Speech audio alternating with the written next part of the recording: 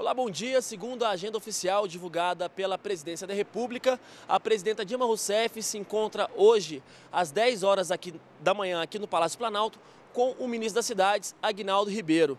Também aqui no Palácio Planalto será discutida hoje à tarde a atuação do Fórum de Gestores Federais. Esses gestores atuam junto às prefeituras, levando informações sobre convênios e parcerias com o governo federal.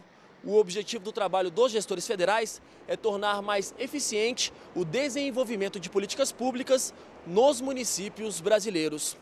Leandro Alarcon, direto do Planalto.